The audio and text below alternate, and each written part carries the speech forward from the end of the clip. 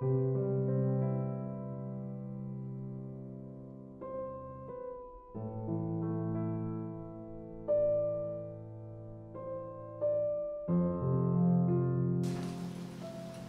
has lost a distinguished gentleman, an extraordinary soul. On behalf of the government and people of Guyana, first of all, I would like to express our sympathies to the family, but more importantly, to thank this wonderful family for sharing such an incredible soul with Guyana and every Guyanese. Sometimes, in the life of remarkable men and women, we tend to forget the structure that is behind those remarkable men and women. And I'm sure this family would have made many sacrifices. Friends would have made many sacrifices in the volume of time in his life he spent with the people and serving the people of our country. The simplicity of the man, the humbleness of him, and the way in which he carried himself, always respectful, never allowed anyone outside those who knew him to know the impact he would have had on our country. And I know he was looking forward to sharing more of his life with the people of our country. He was looking forward to serving more.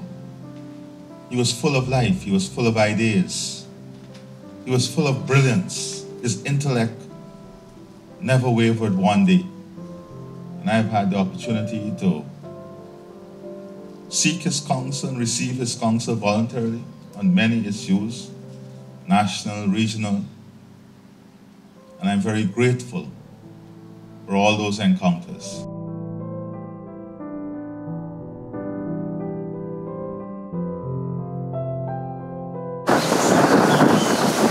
And I remember once at a in Bahamas, and I was in New York, and Mr. Dr. Roger Luncheon called him to see.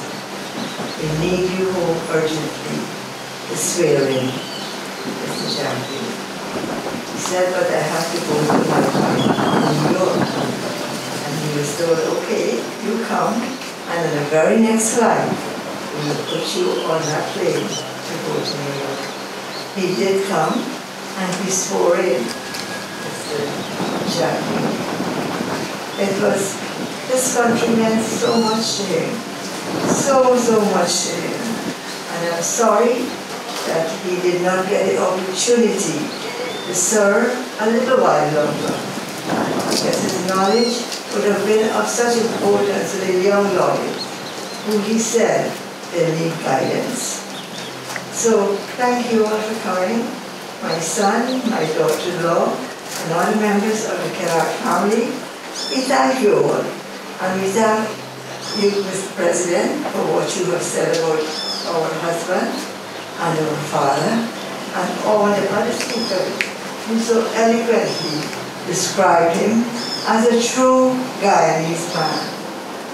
I'm grateful for, for him for giving me those 56 years. And now that he's going, I will be alone.